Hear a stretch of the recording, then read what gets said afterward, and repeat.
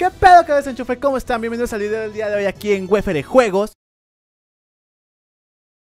se podrán dar cuenta que no estamos en el set normal y es que pues estoy en casa de mi papá porque lo vine a visitar a él y a mi abuelita porque los quiero mucho. También porque venimos Santi y yo a los Elliot Awards, que yo creo que ya les contó Santi cómo nos fue. La verdad estuvo todo muy padre, muchas gracias por invitarnos. Esperemos que estemos invitados el siguiente año. Pero ustedes vienen por noticias, no vienen para saber de mi vida personal, así que les voy a dar todas las noticias de los videojuegos de esta semana. Lo más importante tiene que ver con Minecraft Earth, que ya salió para ti y para mí. Los pedos con Blizzard y Hong Kong siguen y siguen y siguen y siguen y creo que nunca van a parar. Y por qué Doctor Disrespect cree que Fortnite está muriendo. Así que nada, le iba a pegar a esto, pero mejor no. A darle con el video.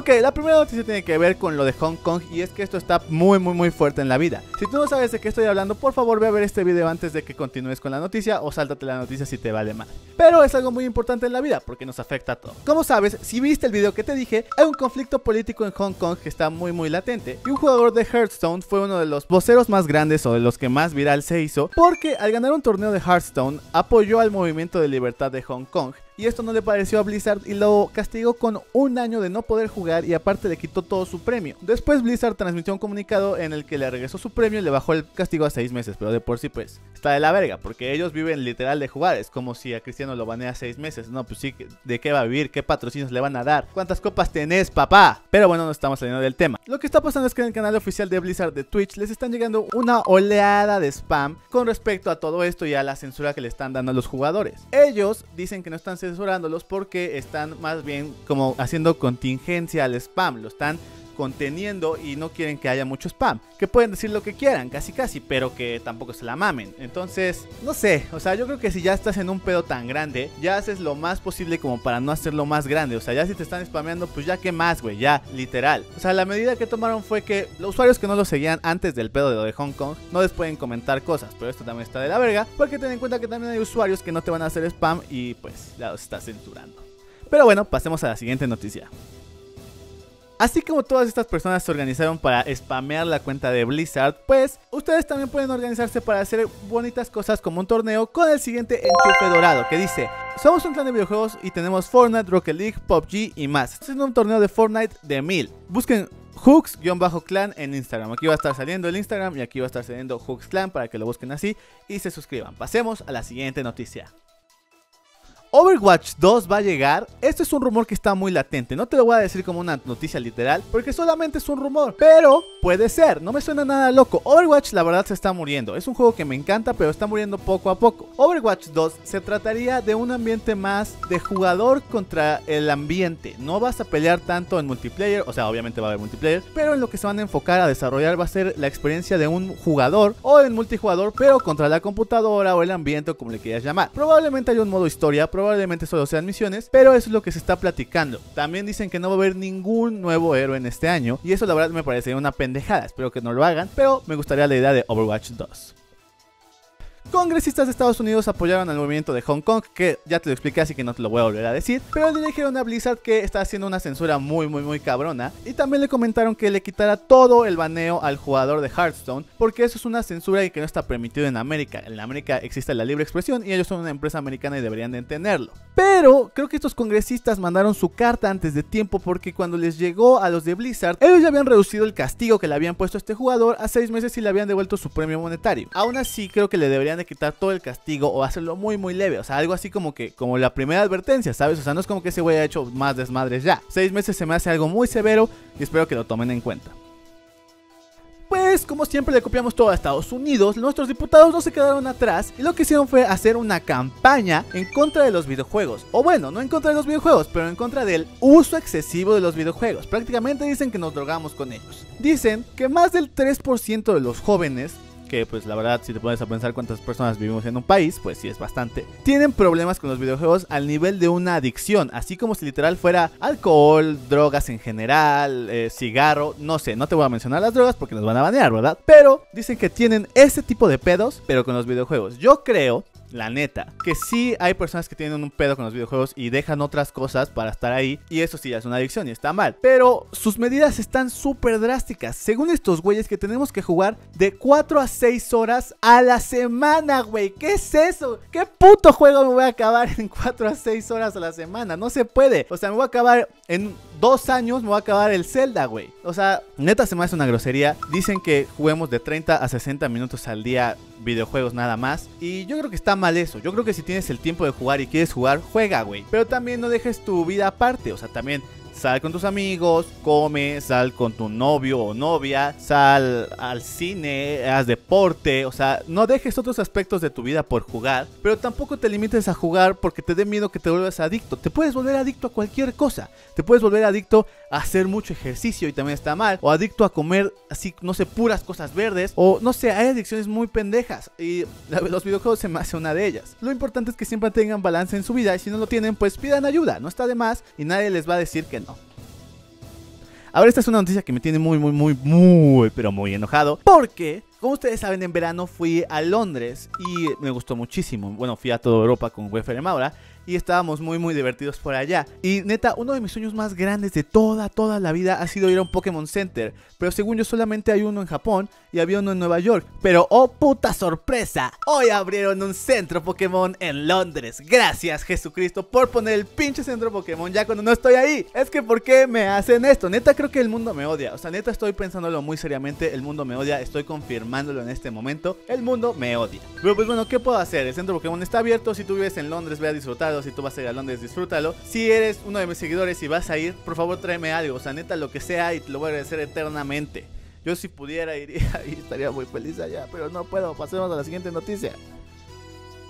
Alguien que seguro también se está muriendo de ganas de ir al centro Pokémon es el siguiente enchufe dorado, que es Dear Fox Peite, el Poké Gamer, y nos dice lo siguiente. Hola Rey Enchufe, quería decirte a ti y a todos los enchufes que vayan a mi canal de YouTube. Ahí subo tutoriales, gameplays y otras cosas. Adiós. Por favor suscríbanse a Dear Fox Peite, el Poké Gamer, porque así van a cumplir su sueño de ir al centro Pokémon como a mí me gustaría que me lo hubieran cumplido.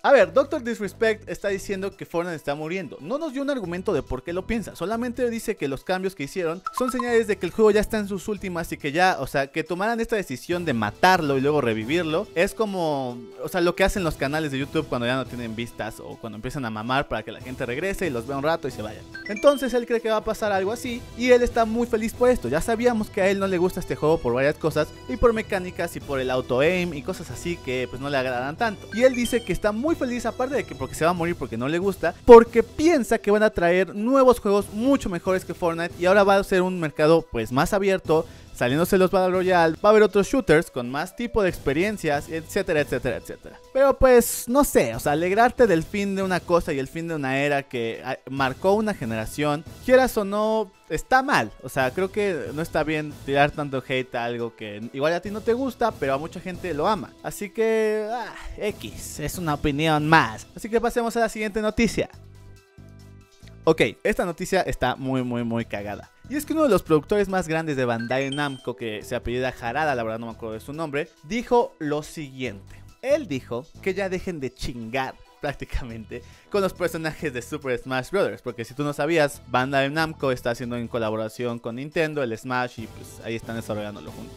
Entonces este güey dijo que ya lo dejen de spamear, por favor, con todos los personajes que quieren en el juego. Que está bien, que los quieran, que está bonito y todo, pero que ya dejen de joder, que con un mensaje entienden y con uno es suficiente. Entonces que si lo siguen chingando, así literal como castigo de papá, que si lo siguen chingando va a dejar de sacar personajes y no va a sacar a los personajes que le están diciendo y va a sacar a los que sus huevos digan prácticamente. ¿Y por qué? Porque es el productor. Así que dijo que él va a llegar con Sakurai y le va a decir, oye, no metas a Crash, a Master Chief y al güey de Fortnite, que son los que más me están pidiendo. Si los metes, te mato. Entonces, si le siguen mandando mensajes, no los va a meter. La neta, yo sí quiero ver a Crash, por favor, no estén mandando mensajes ya, ya dejen de mandarle mensajes, por favor. Pasamos a la siguiente noticia.